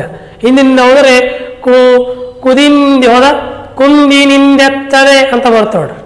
ಹಾಗೆ. ಹೌದಾ? ಈ ರೀತಿ. ತಿಂದ, ಮಲ್ಲ ದೆಂದು ಈ ರೀತಿ ಬರ್ತಕ್ಕಂಥದ್ದು. ಅದನ್ನು ನಾವು ಒಂದನೇ ಸಾಲ ಅಂದರೆ ನಾಲ್ಕನೇ ಸಾಲಿಂದ ಓದಿದ್ರು ಅದೇ ರೀತಿ ಬರುತ್ತೆ. ಮೂರನೇ ಸಾಲ ನಾವು ಹಿಂದಿನಿಂದ ಓದಿದರೆ ಎರಡನೇ ಸಾಲ ಬರುತ್ತೆ. ಹೀಗೆ ಬರ್ತಕ್ಕಂಥದ್ದನ್ನು ಗತ ಪ್ರತ್ಯಾಗತ ಇದು ಶಬ್ದಗಳ ವೈಚಿತ್ರ್ಯ. ವಿಕಟ ಕವಿ ಅಂತ ಬರೋ ಬರೋ ಒಂದು ಪದವನ್ನು ಬಳಸ್ತೀವಿ ನೋಡಿ. ವಿಕಟ ಕವಿ. ವಿಕಟ ಕವಿ ವಿಕಟ ಕವಿ. ಆ ರೀತಿ ಬರ್ತಕ್ಕಂಥದ್ದು. ಇದು ಇದೇನಪ್ಪ ಅಂತಂದ್ರೆ ಗತಪ್ರತ್ಯಾಗತ ಅಂತ ಬರುತ್ತೆ. ನಿರೋಷ್ಠೆ ಅಂತಕ್ಕಂಥದ್ದಕ್ಕೆ. ಅತಾಲವ್ಯಕ್ಕೆ ಉದಾಹರಣೆಗಳು ಸಿಗೋದಿಲ್ಲ. ಹಾಗಾಗಿ ನಿರೋಷ್ಠೆ ಅಂತ ಇದು ಏನೋ ತುಟಿಗಳ ಮಹಿಮೆ ಇರಬೇಕು ಅಂತ ಅನ್ಕೊಂಡಿದ್ದೀನಿ. ನಿರ್ ಅಂತ ಮತ್ತೆ ಅದಕ್ಕೆ ಉಪಸರ್ಗವನ್ನು ಬೇರೆ ಬಳಸಿದರೆ ಇದರಲ್ಲಿ ಒಂದು ಪದ್ಯ ಇದನ್ನ ನಾನು ಕೊಟ್ಟಿದ್ದೀನಿ. ನೋಡೋಣ ಇದು ಹೇಗೆ ಅಂತೇಳಿ. ಧರಣಿ ನಾಯಕ ಕೇಳ್, ನಿಶಾಂಗ್ರಿ ಸರಸಿಜಾತಂಗಳಂ ಕಾಣಲ್ಲ ತರದಿಂ ಸಾಗರ ಚೇಲಧಾರಿಣಿ. ಎಲ್ಲಾಚೆ ಚಂದದಿಂ, ಎಲ್ಲಾ ಚಂದದಿಂ, ಸಂತತಂ ತಿರುವಿಶ್ರೀಗೆ ನಿರಂತರಂ ನೆಲೆಯನಲ್ ಸಾರ್ದಿರ್ದ ಸಲ್ಲಕ್ಷಣಂ ಸ್ಥಿರದಿಂದ ಇರ್ದ ಕಳಿಂಗ ದೇಶದ ಎಡೆಯಂ ಸಾರ್ದೆ ಸದಾ ಆನಂದದಿಂ ಗಮಕ ವಾಚನ ಅಂತ ಕರೀತಾರೆ ಇದಕ್ಕೆ ಈ ರೀತಿ ಧರಣಿ ನಾಯಕ ಕೇಳ್ ನಿಜಾಂಗ್ರಿ ಸರಸಿಜಾತಂಗಳಂ ಕಾಣಲ್ಲ ದರದಿಂ ಈ ರೀತಿ. ನೀರು ಅಷ್ಟೇ. ಭಾಳ ತುಟಿಯನ್ನು ಬಳಸಿಕೊಂಡು ಭಾಳ ಅದ್ಭುತವಾಗಿ ಈ ಒಂದು ಶಬ್ದ ವೈಚಿತ್ರ್ಯವನ್ನು ನಾವು ಇಲ್ಲಿ ಬಳಸ್ಬೋದು, ಪ್ರಯೋಗ ಮಾಡ್ಬೋದು ಅನ್ನೋದನ್ನು ನಮ್ಮ ಹಿರಿಯ ಕವಿಗಳು ಕಟ್ಟಿಕೊಟ್ಟಿದ್ದಾರೆ. ಕಾವ್ಯವನ್ನು ಹಾಗಾಗಿ ಸ್ನೇಹಿತರೆ, ಇದು ನಿರೋಷ್ಟಕ್ಕೆ ಉದಾಹರಣೆ ಅಂತ. ಇದಿಷ್ಟು ಹಾಗಾದರೆ ಅಲಂಕಾರ ಏನು?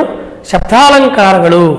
ಶಬ್ದಾಲಂಕಾರಗಳ ಭಾಗಗಳಲ್ಲಿ ಇದೊಂದಿಷ್ಟು ಉತ್ತಮವಾದಂತಹ ಒಂದು ಪಾಠ ಅಂತ ತಮಗೆಲ್ಲರೂ ಹೇಳಲಿಕ್ಕೆ ಇಷ್ಟಪಡ್ತೇನೆ. ಧನ್ಯವಾದಗಳು. ಮುಂದಿನ ತರಗತಿಯಲ್ಲಿ ನಾವು ಅಲಂಕಾರಗಳಲ್ಲಿ ಎರಡನೇ ಪ್ರಕಾರವಾದಂತಹ ಅರ್ಥಾಲಂಕಾರಗಳ ಬಗ್ಗೆ ನಾವು ಮುಂದಿನ ತರಗತಿಯಲ್ಲಿ ಅಭ್ಯಾಸ ಮಾಡೋಣ. ಎಲ್ರಿಗೂ ಒಳ್ಳೆಯದಾಗಲಿ. ನಮಸ್ಕಾರ.